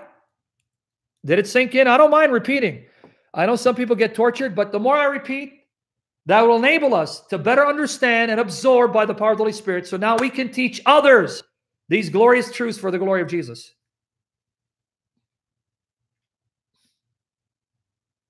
Right? Making sense? If it's making sense, I can now go out with a treat. How Isaac is a picture of Christ. Okay? Let's talk about Isaac being a picture of Christ, and we'll end this session. And Lord willing, we'll continue in the days to come. Just pray for me, folks. Today's a little hard on me, just emotionally a little drained. I had to sign the lease to move into the new place by February 15, and I'm trusting the gracious provision of our Lord for the financial needs to get settled on my feet, to do this work for the Lord, and be able to take care of myself and my daughter. So pray for just miraculous provisions that the Lord will show me He's with me and my daughters because He'll never leave nor forsake us. It gets tiring. You guys know, those of you with children, it gets tiring to be somewhere else far away from your kids and not seeing them. I can't wait for Jesus to take me home or for Him to come to the earth. And that I'm clothed in His righteousness and washed in His blood so I can stand worthy of our Lord. This world sucks. This world sucks. But until Jesus calls me home, pray I can get healthier, lose more weight, and be holier for the Lord. Okay, anyway, let's finish it. The first similarity between our Lord Jesus Christ and Isaac, we already saw it. We hammered it over and over and over again. Jesus and Isaac are called monogenes. Write down the references. Isaac is called Abraham's monogenes in Hebrews 11 17 right? Hebrews 11, 17. Isaac is said to be Abraham's monogenes. Our Lord Jesus is said to be God the Father's monogenes. And where is he called the Father's monogenes? Write these down. Five times in John's letters, four times in the Gospel of John, one time in the first letter of John. Five times monogenes is applied to our glorious Lord and Savior Jesus Christ because he alone is the Father's monogenes. John 1, verse 14. John 1, verse 18. John 3, verse 16. John 3, verse 18. Four times in the Gospel of John. John 1, 14, John 1, 18, John 3, verses 16 and 18. And then First John chapter 4, verse 9. First John chapter 4, verse 9. So that's one similarity. Isaac, like Jesus, is his father's monogenes. Isaac is Abraham's monogenes. Jesus is God the Father's monogenes. All right. Now let's go to Genesis 22, verses 1 and 2. We're going to have some fun if you're up for it. If you want to go out with a bang, pray that by the end of the month, we get about 500 people listening to me live. Yeah. Please, Lord, do it for your glory. Hallelujah. A lot of meat today, man. A lot of meat today. In Jesus' name. There was a lot of meat today, right? May bless the internet connection. We got a lot of meat. We even talked about church structure, church discipline, church authority. Lots of meat. I love meats. For Bray, I don't gain weight, I lose. Don't hate. Man, these shoulders are too narrow. See the bicep here? It's, it's, it's like flat. It's getting, it's getting there. Where is the love? It's getting there. All right. All right. Genesis 22, verses 1 and 2. In Jesus' name. Genesis 22, verses 1 and 2. Watch. Let's look at it again. Where's the love? And it came to pass after three things that God did tempt Abraham and said unto him, Abraham, and he said, Behold, here I here I am. Now watch. And said, and he said, Take now thy son, thine only son, whom thou lovest, and get thee into the land of Moriah, and offer him there for a burnt offering upon one of the mountains which I will tell thee of. So Isaac is not just the one and only son of Abraham, Hebrew Yachid, Yachid. Some pronounce it Yachid, Yachid, contrast to Echad, okay, Yachid. He's also the son he loves. So, like Jesus, Isaac is considered the one and only son, monogenes. Isaac is the monogenes of Abraham. Jesus is monogenes of God the Father. And like Jesus, Isaac is his father's beloved son the son that the father loves, without implying that the father doesn't love the other children. He's Abraham's beloved. And Jesus is God's beloved. Let's look at it. You ready? Are you ready for the proof? Mark 111. Mark 111. Let me know if this is boring you guys. Mark 1 verse 11. And there came a voice from heaven saying, Thou art my beloved Son, in whom I am well pleased. Thou art my beloved Son, the Son whom I love, in whom I am well pleased. That's Mark 111. All right. John 3 35. John 3 35. John 3 35. Thank the triune God, Marcy and pray the triune God sanctifies me, purifies me, and fills me for the glory of Jesus and my daughters, my angels. John 3 35. The Father loveth the Son. This is inspired witness of John, and hath given all things into his hand. So John affirms Jesus is the Father's monogenes and the one he loves. John 5 20. What does our Lord Jesus say? John 5, verse 20.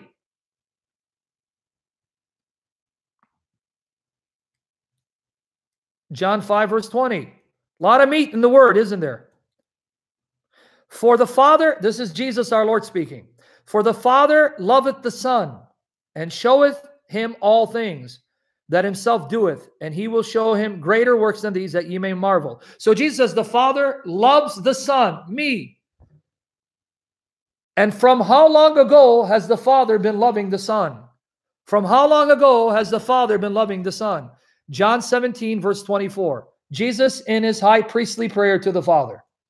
And the reason why it's called the high priestly prayer, prayer. Right? John 17, verse 24. I'll explain that later, not today. John 17, verse 24. Father, I will they that also whom thou hast given me be with me with me where I am, that they may behold my glory which thou hast given given me, For thou lovest me, you have loved me before the foundation of the world. I am the one you have been loving even before the world was created. Hmm. Interesting. Ephesians 1, verse 6. And we'll read 7. Ephesians 1, 6 to 7. 6 and 7, but Ephesians 1, 6 to 7. Yep. I love to crack my neck. Sorry, guys. It was stiff. I need a good chiropractor. To the praise of the glory of his grace, wherein he, God the Father, had made us accepted in the beloved. He's accepted us in union with his beloved for the sake of his beloved, in whom, because of the beloved, we have redemption through his blood, the blood of the beloved, the forgiveness of sins according to the riches of his grace. Colossians 1 13 and 14. And the word there, translated as dear son, is the word love. Dear son. Colossians 1 13 to 14. Inversion table? Yeah, I need that. Need my spine to be cracked in place. Okay, let me show you. I'm going to get you to Greek here. Okay, let's let's read. Who hath delivered us from the power of darkness and hath translated us into the kingdom of his dear Son, in whom we have redemption through his blood, even the forgiveness of sins. Now, here's the interlinear for the word dear. If you see, those of you know Greek, you can read the Greek. Even if you can't read Greek, it's transliterated. If you go there, the Greek, BibleHub.com, an excellent resource free of charge. He's called, it's a kingdom of two, uh, wiyu, two wiyu, tes agapes, autu, tes agapes. Agapes is where we get the word agape, agape love. The son of him, the beloved of him, the beloved son, the son whom he loves. So, you see the similarities? Both Isaac and Jesus are the mon- monogenes of their respective fathers. Both Isaac and Jesus are the beloved sons of their respective fathers, right? Do you see that? So far, you're seeing similarity, right? Now, let's go to Genesis 22 and read 3 to 5. Genesis 22, verses 3 to 5.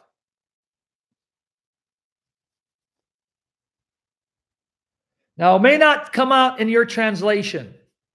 I think the New King James brings it out. And Abraham rose up early in the morning and saddled his ass and took two of his young men with him and Isaac his son and clave the wood for the burnt offering. Notice what day he arrives to the desig- designated spot. Notice what day he arrives to the designated spot, right? Clave the wood for the burnt offering and rose up and went unto the place of which God had told him. Notice four.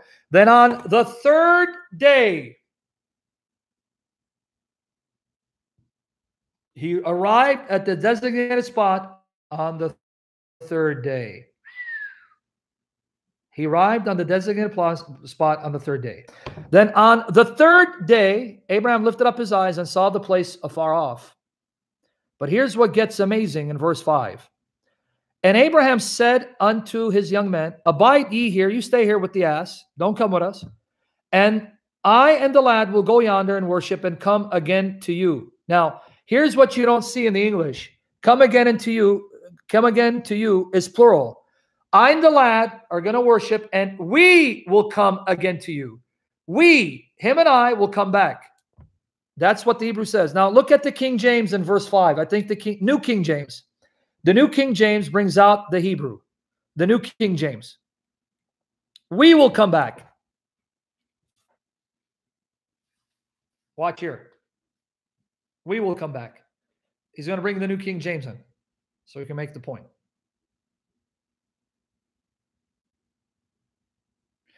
And Abraham said to his young men, Stay here with the donkey. The lad and I will go yonder worship, and we will come back to you. The boy and I, we together will return. Wait, Abraham, you know the boy's as good as dead. You're about to kill him as a sacrifice. Why did you tell your servants you're going to come back with the lad? Both of you are going to come back. Because understand what Abraham is thinking. God, who has proven himself faithful, He told me Sarah will have a son, and she had a son. He told me that son will be the heir of the covenant. And through his seed, he's going to have children that's going to make Sarah a mother of many nations. But now God is telling me to kill this son, and he has no children. Work with me, folks. Work with me. How Abraham's reasoning. Genesis 17, we read, God said, Sarah will have a son. She'll be the mother of nations, and kings of peoples will come from her. She's going to have a son who's going to have descendants so nu numerous. Her son is going to be the ancestor of so many human lives, making his mother the mother of many people, many nations. But wait, God, I'm about to kill Isaac. He has no sons. But you promised me this is the son who'll be the heir of the covenant. And you said, My descendants will be numbered through his line. It's his descendants, his seed, they'll inherit the blessings of the covenant. And it's through Isaac that he's going to make his mother a mother of nations. But he has no children. And so far, everything you promised, you have done. But now you're going to have me kill the lad. What about the promise that he's going to make his mother the mother of many nations and that his offspring will be the heirs of my covenant? What about that promise, God? I know the kind of God you are. You cannot lie. You don't go back on your word. You've proven faithful over and over again. But then how are you going to have me kill him? You haven't kept your promise regarding him. Oh, it's a test. Whether I'll do it. And if I do, God will then raise him from the dead and restore him to me because he's the God of life and he can do that. You understand what Abraham's reasoning? You understand his reasoning? That's why he said, We will come back. That was a statement of faith. A statement of faith saying, Look, I can't understand why God is doing this to my son. And why is he having me do to my son? I don't understand your wisdom, your ways, but I've come to know the God that you are. You're a faithful God. You're a good God, a loving God. And you've been good to me. You've been my friend, and you've never lied to me. I can't understand why you're allowing this to happen and why you're doing this, but I will not lose hope. I will trust in you. And I know how good you are, how good you've been to me. You will raise him back to life because you're that kind of God who keeps his promises. See, I'm my the hairs on my hands are standing. That's supposed to be a lesson for us. And it's a lesson for me. For two years, God, I've been left homeless for over two years. I haven't been able to put my daughters to sleep like I used to, that they got accustomed to, and wake up to them and take them to school and pick them up and love bomb them and affirm them and hold them for two years. And I haven't even seen them face to face since June. And I haven't heard their voice since, since September. And I got a corrupt, evil, wicked judge, a whore of Satan, trying to destroy me. And there are other men in the lives of my children. And I'm lonely in a different state from the one I was raised. I don't understand why this is happening and what good will come out of it and what the end will be. But this I know, this I know. You're the God of Abraham, and you're the friend of Abraham, and you're a faithful God, and you're a good God, and you're a beautiful God, and a loving God. And I know you love me and are in love with me and in love with my daughters. And I know, I know, I know from my heart, you'll never abandon me, but you'll preserve me for your glory. And because of that, though you slay me, I will trust in you. I will believe in you. I will love you and ask the Spirit to help me to fall more in love with you. You are my God, Father, Son, Holy Spirit. So don't just read this as a story. Don't just read this as a story. Read it as history and as an example of God's faithfulness to you. The God of Abraham is your God. The friend of Abraham is your friend. And the faithful God of Abraham is your faithful God. Right? Clear? So I just want you to understand how Abraham's reasoning. So he wasn't lying. He reasoned that though I will kill him, God, who's the God of life, will resurrect him again because he will not break his promise concerning Isaac. That I know for sure. He will not lie. He cannot lie. He will not break his promise. Now, Genesis 22, verses 4 and 5. Genesis 22, verses 4 and 5. Amen. In Jesus' name, Alex, may he hear you and grant us the faith of Abraham. Now, let me show you, let me show you what Hebrews saw by inspiration of the Holy Spirit. Pay attention. That on the third day, Abraham lifted up his eyes and saw the place so far off. And Abraham said unto his young men, Abide ye here with the ass, and I and the lad will go yonder and worship, and we will come again to you. What day was this? Third day. When was Isaac going to come back to them? Third day. He was going to come back to them third day. Now let's see the reasoning of Hebrews. Hebrews 11, verses 17 to 19. Daily Gripe, I hope you're paying attention because this is how you make the connections. And the Lord bless you for his glory and use you. And everyone here.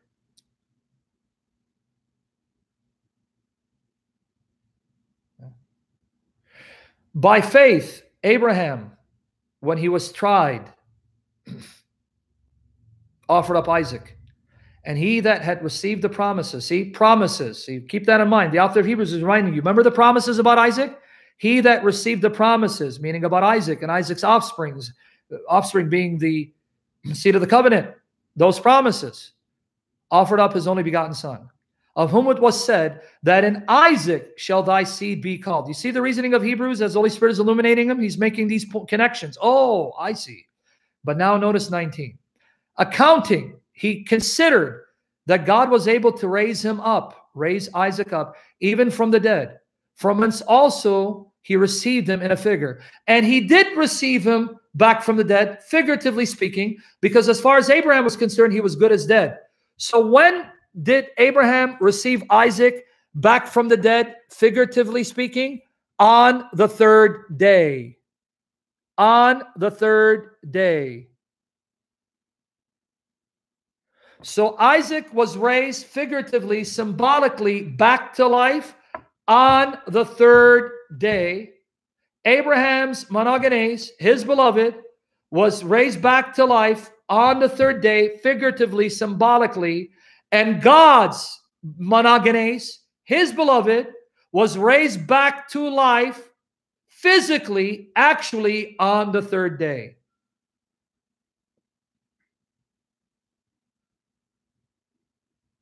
You got it? Is it making sense?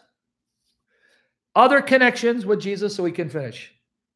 Genesis 22, verse 6. And verse 9. Genesis 22, verse 6 and 9. Skip 7 and 8. Go to Genesis 22, 6 and 9. And Abraham took the wood of the burnt offering and laid it upon Isaac. So who carried the wood upon which Isaac would be sacrificed? Isaac carried the wood, the wood which would be the instrument of his sacrifice. He carried his wood upon Isaac his son, and he took the fire in his hand and a knife, and they went both of them together. And they came to the place which God had told him of. And Abraham built an altar there and laid the wood in order and bound Isaac his son and laid him up on the altar upon the wood. Isaac carried the wood that be, would be used to pretty much crucify him. John 19, 17. John 19, 17. John 19, 17.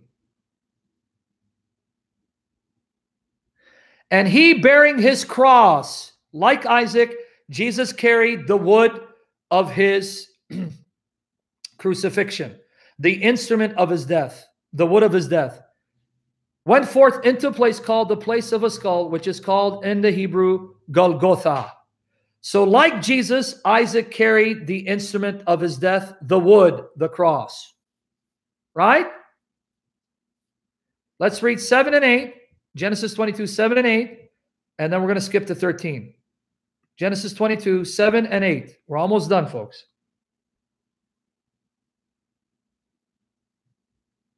Watch here. And Isaac spake unto Abraham his father and said, My father. And he said, Here am I, my son. And he said, Behold, the fire and the wood. But where is the lamb for a burnt offering? Where is the lamb for a burnt offering?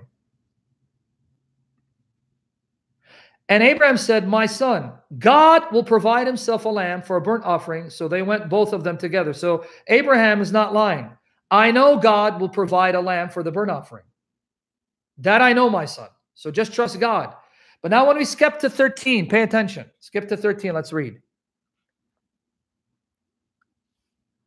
And Abraham lifted up his eyes and looked, and behold, behind him a ram. He looked, a ram caught in a thicket by his horns. And Abraham went and took the ram and offered him up for a burnt offering in the stead of his son.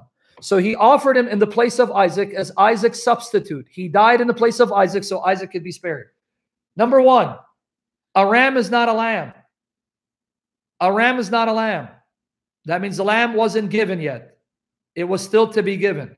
Number two, a thicket is a thorn bush. So the ram's horns, its head was caught in a thorn bush. Sound familiar? They placed a crown of thorns on the head of Jesus.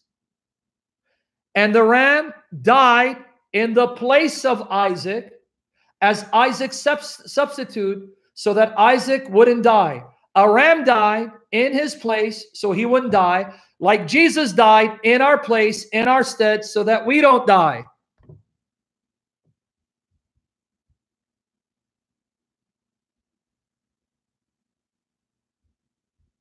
Yet, it's still not the lamb. Why? Because Genesis 22 14 tells you the lamb was yet to come. Genesis 22, verse 14. Read here.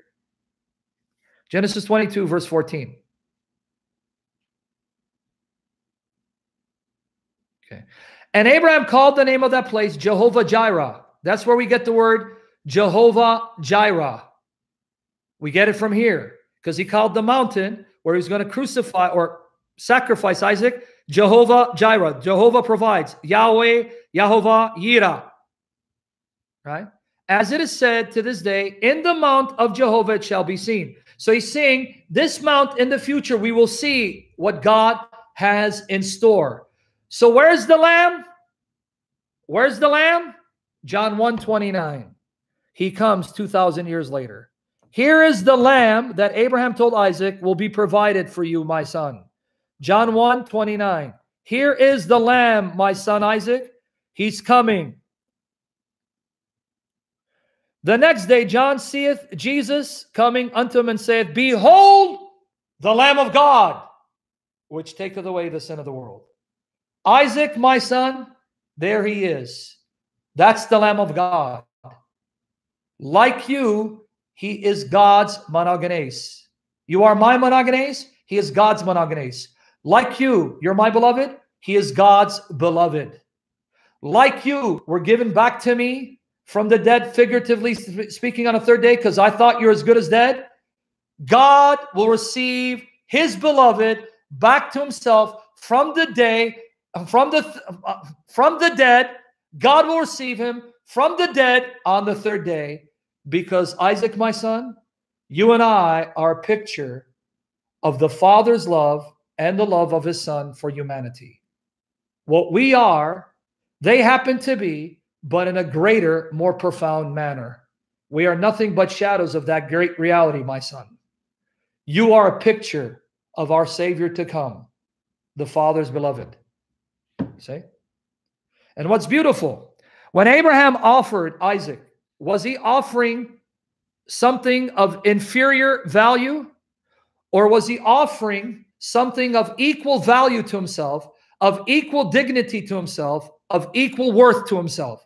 Because Isaac is fully human like Abraham, and being the co heir of the covenant, he's just as valuable, just as important, right? And has just as much worth as Abraham does as a picture that when Father gave, gave Jesus, the Father wasn't giving something infinitely less than him, like Abraham gave something equal to him in essence, the Father gave the world also that one who is equal to him in essence, in glory, in nature, in value, in worth, because the Lamb of God is just as much God as the Father is.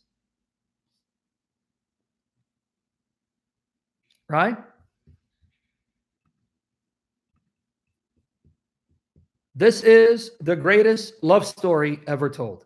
When you get a chance, go to YouTube and look for the song, How Deep the Father's Love for Us.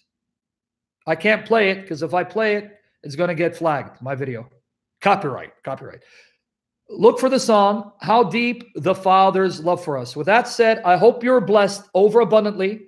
Pray God will use my meager efforts. Bless the YouTube channel, my YouTube channel bless it to take off, to bring in more viewers, subscribers, to learn how to navigate YouTube, to produce, produce better quality videos, to loosen my tongue, to speak clearly and truthfully, always for the glory of Christ.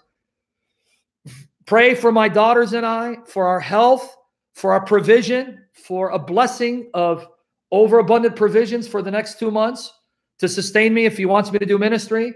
And pray that the Lord will help us to become holier more like Jesus, more in love with Him, know the Word more deeply, and live it more powerfully by the life and power of the Holy Spirit. And I pray that the Lord will continue to use me to bless you as you've been a blessing to me, and forgive me for my shortcomings. And I pray I never cause you to fall away, but to strengthen you by the Holy Spirit, using me for the glory of Jesus. I am your servant for the sake of Christ, and I love you for his sake. Christ has died, Christ has risen, Christ will come again. Jesus Christ is Jehovah to the glory of God the Father. Amen. Come, Lord Jesus, we love you.